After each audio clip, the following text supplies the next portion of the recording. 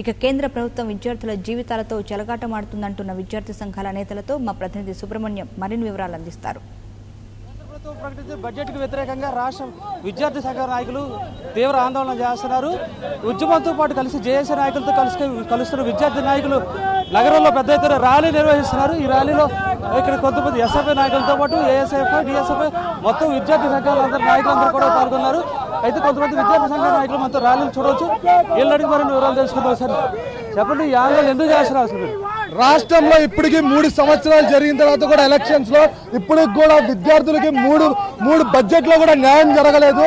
ఇప్పటికైనా కష్టంగా ఆంధ్ర రాష్ట్ర విద్యార్థులు ప్రత్యేక హోదా రాకపోతే ఆంధ్ర రాష్ట్ర విద్యార్థులు దృష్టిలో ఉంటుంది అని చెప్పి ఈరోజు మేము చొక్కాలిపి చూపిస్తా ఉన్నాం. ఈరోజు కేంద్రంలో బడ్జెట్లో డబ్బులు రిలీజ్ చేయరు. రాష్ట్రానికి ప్రత్యేక హోదా ఇయ్యరు. ఏమన్నా ఉద్యోగాలు అడిగితే ఆయన అమిత్ షా గారు చెప్తా ఉన్నారు పకోడీలు అమ్ముకోండి ఉద్యోగాలు లేకపోతే అని. మేము అడుగుతా ఉన్నాం మీకు ఉద్యోగాలు అయితే పకోడీ అమ్ముకున్నారా? మీకు డబ్బులు ఉన్నాయి కాబట్టి మినిస్టర్లు ఉన్నారు. మా రాష్ట్రానికి ఖచ్చితంగా ప్రత్యేక హోదా ఇవ్వకపోతే ఖచ్చితంగా బీజేపీ జెండా కూడా ఆంధ్ర రాష్ట్రంలో ఎగరదని చెప్పి మేము తెలియజేస్తా ఉన్నాం.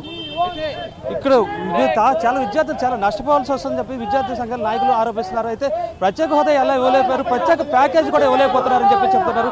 ఇక్కడ మరికొన్ని మంది విద్యార్థి నాయకులు ఎస్ఎఫ్కి చెందిన విద్యార్థి నాయకులు మొత్తం నాయకులు సార్ చెప్పండి. ఏంటి ప్రభుత్వం యొక్క మొండి దీన్ని ఎలా మీరు చేస్తారు?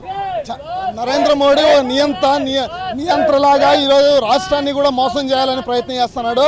ఎందుకంటే చంద్రబాబు నాయుడు కేసుల్లో ఇరుక్కున్నాడు కాబట్టి ఆ కేసులను అడ్డం పెట్టి ఈరోజు ఆంధ్రప్రదేశ్ నోట్లో నరేంద్ర మోడీ మట్టి కొడుతున్నాడు శంకుస్థాపనకి ఏ విధంగా కుండ తెచ్చి నోట్లో మట్టి కొట్టాడు?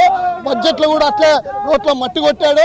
నీకు చిత్తశుద్ధి ఉంటే పార్లమెంట్కి మీద నీ మ- ఏ మాత్రమైనా చిత్తశుద్ధి ఉంటే నువ్వు నిజంగా భారత జాతి మీద నీకు చిత్తశుద్ధి ఉంటే పార్లమెంట్ చేసినటువంటి చట్టాన్ని వెంటనే అమలు చేయాలనేసి మేము డిమాండ్ చేస్తాను ఎందుకంటే నరేంద్ర మోడీ ఏం చదువుకున్నాడో ఎవరి తెలదు.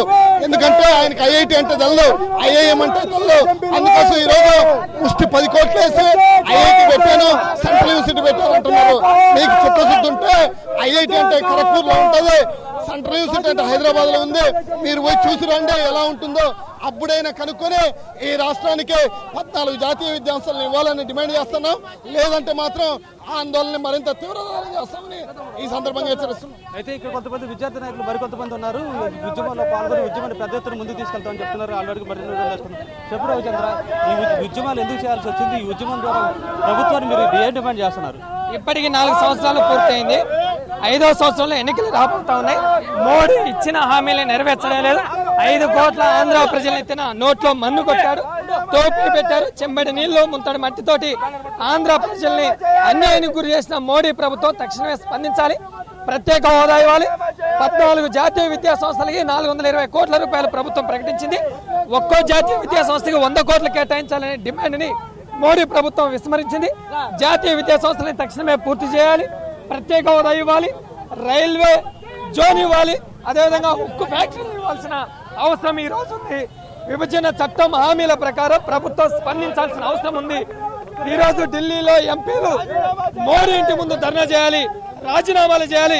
ముఖ్యమంత్రి చంద్రబాబు నాయుడు ఢిల్లీ వెళ్ళి మోడీ ఇంటి ముందు ఆందోళన చేసి ఆంధ్ర ప్రజల ఆత్మగౌరవాన్ని తాకట్టు పెట్టకుండా కాపాడాల్సిన బాధ్యత చంద్రబాబు మీద ఉందని మేము డిమాండ్ చేస్తా ఉన్నాం. జాతీయ విద్యా కోసం ప్రభుత్వం స్పందించకపోతే ఈ బంధుతో ప్రభుత్వం చెప్పే విధంగా ఉద్యమిస్తామని మేము పీడిఎస్ విద్యా సంఘాలుగా ప్రభుత్వం డిమాండ్ చేస్తాం. ఓకే విద్యార్థి సంఘాలు పెద్ద ఎత్తున రోడ్డెక్కాయి. విద్యార్థి సంఘాలు తమ ఆందోళన తెలియజేస్తున్నాయి. రాష్ట్ర బడ్జెట్లో కేటాయింపు లేదని చెప్పి లేవని చెప్పేసి ఊర్లో నామకే వాస్తవంగా యూనివర్సిటీలకు మాత్రమే కేటాయింపులు చేస్తున్నారని చెప్పి చెప్తున్నారు. అయితే విద్యార్థులకు సంబంధించి ఎటువంటి మేలు జరిగే కార్యక్రమాలు విద్యార్థి విద్యాసంఘ విద్య కానీ విద్యకు సంబంధించి కానీ ఉద్యోగాలకు సంబంధించి కానీ ఉపాధికి సంబంధించి కానీ ఎటువంటి చర్యలు చేపట్టలేదని చెప్పి మీరు ఆందోళన వ్యక్తం చేస్తున్నారు. అంతేకాకుండా ప్రత్యేక హోదా విషయంలో ఒకసారి అన్యాయం జరిగింది. ఇప్పుడు బడ్జెట్ విషయంలో కూడా అన్యాయం జరిగిందని చెప్పేసి కూడా ఆందోళన వ్యక్తం చేస్తారు ప్రభుత్వ వైఖరి మార్చుకోకుంటే తగిన బుద్ధి చెప్తామని చెప్పేసి కూడా చెప్తున్నారు. ఇది ఇక్కడ పరిస్థితి. కెమెరామెన్ రవితో సుబ్రహ్మణ్యం. నైన్టీ న్యూస్ విజయవాడ కేంద్ర ప్రభుత్వం